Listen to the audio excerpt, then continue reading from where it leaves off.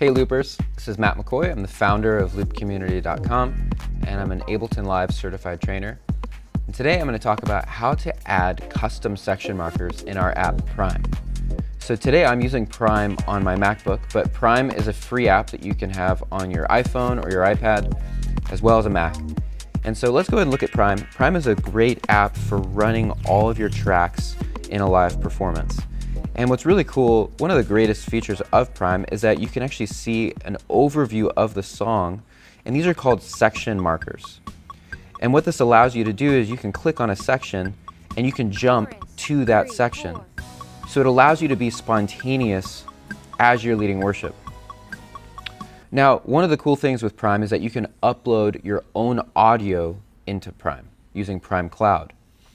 Now, when you get the audio into Prime, um, you'll notice that it doesn't have section markers automatically um, for stuff that you upload on your own. So we need to add that. And uh, so when you look at, this is a song that I uploaded. This is, this is Amazing Grace, um, Matt's version. And you'll notice it doesn't have section markers on it. Three, now there's also not a click, but adding all these things is really easy in Prime. All we're going to do is we're going to um, click on This is Amazing Grace and then go to Edit Song and go to Edit Markers. And it, within the app, now it brings up this grid where I can double click anywhere in the grid to add a marker. So let me go and go back to the very beginning of the song. I can click the plus sign to zoom in. And I'm going to double click on that marker to add a new section marker. And I'm going to call this one intro. So let's go ahead and um, hit play and see what that sounds like. Intro, two, three, four. Okay, so now I've added an intro marker. What we need to do is now add a verse marker. So let's kind of figure out where the verse is. I'm going to just hit play here.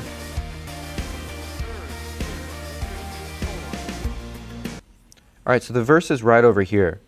So what I'm going to do is I'm going to double click again and just add verse 1. And let's make sure that that's right. I'm going to just kind of scroll back and hit play. Okay, so I'm off by just one, um, one bar.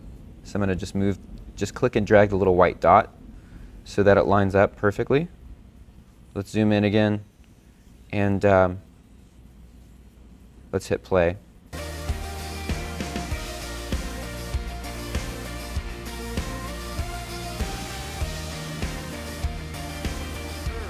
Cool. All right, so we added the verse. Now let's find the chorus, all right? Um, it might be over here. Yep, so there's the chorus. Let's add the chorus section marker. There it is.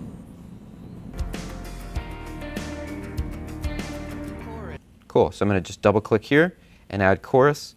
And I would do this for the rest of the song, all the way to the end of the song. Um, what's really cool is that you can double click and add a section, um, let's just say this is the bridge, you can drag these white dots around and flip them around if you need the chorus to flip to the other side or the bridge to be here.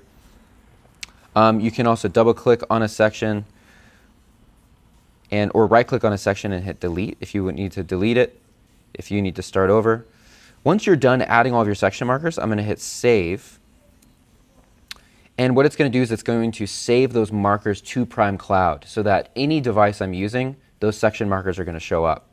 So now that I have section markers, you'll also notice that now we have a click too. Prime gives you a dynamic click that you can change the sound of that at any time by just going into settings and change the click sound all within Prime. And now I can also use section jumping with my custom track. And that's it. It's easy to add custom section markers all inside of Prime. Enjoy.